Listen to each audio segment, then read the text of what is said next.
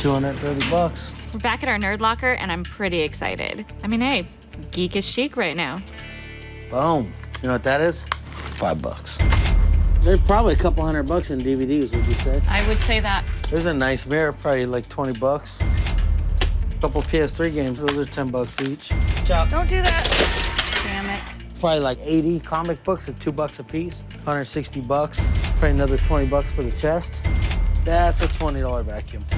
What is this? This is in like seven boxes. What is it? I don't know. It looks important. Let me see the envelope.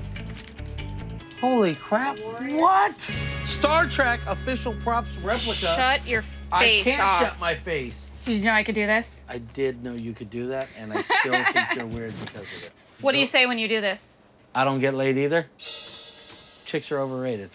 My mom thinks I'm cool. Live long and prosper, dummy. What is this?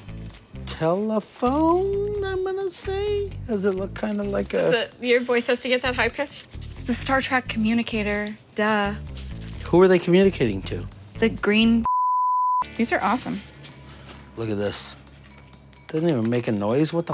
It's for display, it's not to play with. I know Jarrod hates these, but I can't wait to geek out and see if they're worth anything. It's worth getting checked out, that's for sure. But it may. Drain the cool right out of you. It's too late. You weren't cool to begin with. Okay. Hate to break it to you. Okay. Because you can't do this.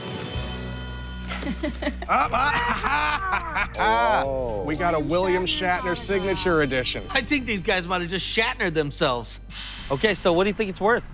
In Earth currency? Yeah, Earth currency. Mm-hmm. Based on the condition and the fact that you have Shatner's autograph, I'd say for both of them, $4,000. What? Shut your face.